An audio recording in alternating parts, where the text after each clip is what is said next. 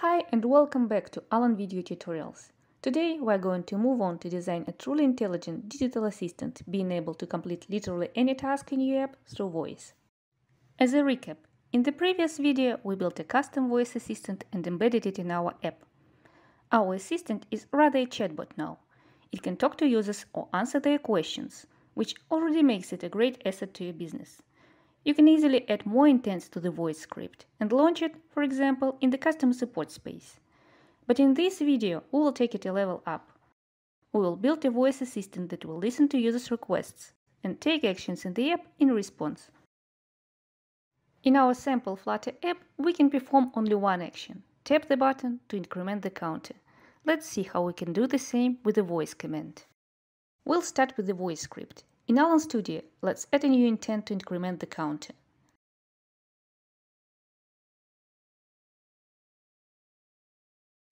Now, when our users say this phrase, Alan will reply, incrementing the counter. Together with playing a response, we want our assistant to actually complete a task in the app. To do this, we'll send a command to increment the counter from Alan's voice script to the app. Let's add another play function to the intent and specify a JSON object for our command in it. We'll name our command increment. Beside the command name itself, the JSON object can have any other data that needs to be sent to the app, but for this tutorial, we'll keep it short. Time to test it in the debugging chat.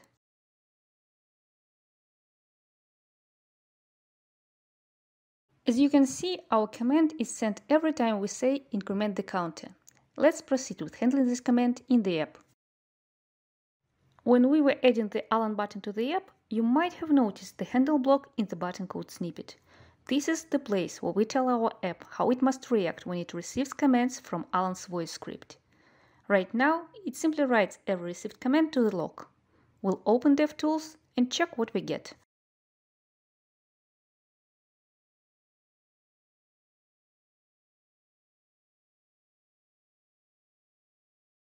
Increment the counter.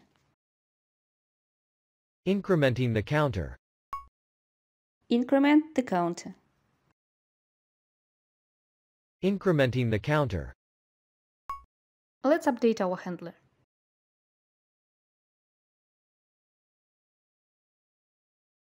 When the app receives a command, the handle command function will be invoked and the command data will be passed to it. And we'll set up the logic for handle command below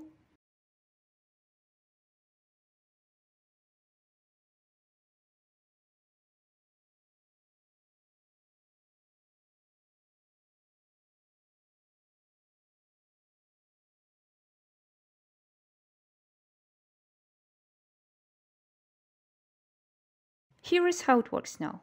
If the received command is increment, we'll use the increment counter function we already have in the app. This is the same function we call when the user taps the increment button. Let's play with it in a real app.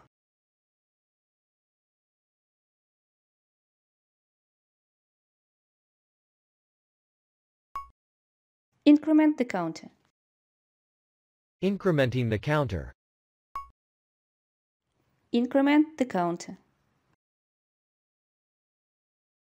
Incrementing the counter. This is a really simple example of how you can complete tasks in the app with voice.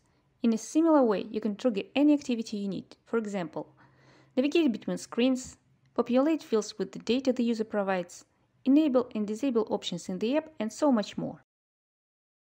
For a real-life example, head on to Alan SDK Flutter repository and get our Flutter Shrine sample app.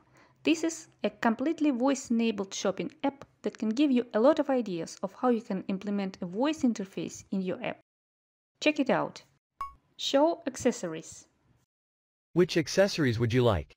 We have several types available. Vagabond sack. Stella sunglasses. Whitney belt. And six others. Do you want to hear more? Show me Whitney belt. Added one Whitney belt to your order. Would you like to add more items or check out? Check out. Now try it yourself to voice enable every task and every workflow in your app. and stay with Alan AI for more.